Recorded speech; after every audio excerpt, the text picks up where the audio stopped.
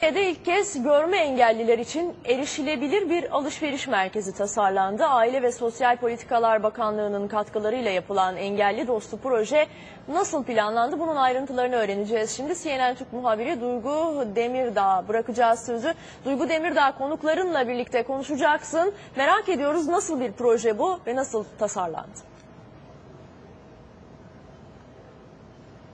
Görme engelliler için erişilebilir ilk AVM, hepimiz için kolay ve keyifli olan alışverişin artık onlar için de böyle tanımlanabilmesi için tasarlandı. Aslında Bayrampaşa'daki mevcut bir e, AVM dediğimiz gibi modifiye edildi, yeniden tasarlandı. Peki nasıl mümkün hale geldi bu proje? Görme Özürlüler Derneği Başkanı Sayın Bülent Kelleci ile konuşalım. Efendim biz şu an AVM'nin danışma bölümündeyiz ve metro çıkışına yakın bir noktadayız. Aslında dışarıdan başlamak üzere e, çeşitli uyarılar var ve nasıl devam ediyor size soralım. Duygu Hanım şöyle bir çalışma yapıldı. Görme Derneği ve bu AVM isim kullanmam gerek isim kullanmamam gerekiyor galiba.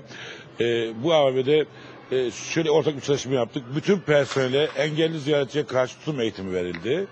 Akabinde dış toplu taşıma alanından binaya girene kadar, X-ray noktasına kadar kılavuz izler kondu. Görme engellileri takip edebileceği dünyada uygulanan bir şey. Ee, ondan sonra danışmaya ulaştıktan sonra görme engelli kişiye renk tanıma cihazı şu elimde veriliyor. Yani kendisi alışveriş yaparken renk tanımayı kendisi bu ne renkte kimse sormadan algılayabilecek. Şu gördüğünüzde bir bileklik. Bu da şöyle kolunda olacak görme engelli kişi. Bunu danışma alıyor. Bina içerisinde 26 noktaya istasyon kondu.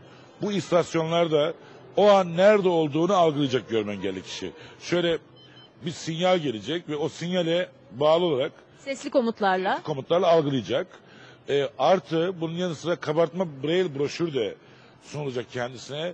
VC, bebek emzirme odası, aile odası ve tüm mağazanın markaları yan sütunlarında kabartma yani braille alfabeyle ve latin alfabesinin kabartmasıyla oluşturulmuş durumda isterse görme engelli kişi dokunarak onu da okuyabilecek. Yani bu alan şu anda Türkiye'de tek AVM ve sivil toplum kuruluşuyla birlikte örgütlenmiş bir iş. E, Forum İstanbul Türkiye'nin tek köylü uygun AVM'si oldu. Bu bu da bizi müthiş mutlu ve herkese örnek olmasını diliyorum.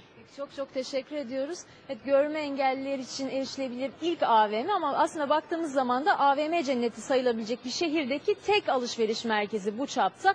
Dolayısıyla buradaki tasarım sadece erişilebilir olması için değil, eşit olması için, herkes için keyifli olması için de yapıldı. Görme engelliler de bunun iyi bir başlangıç olduğunu düşünüyorlar Başak.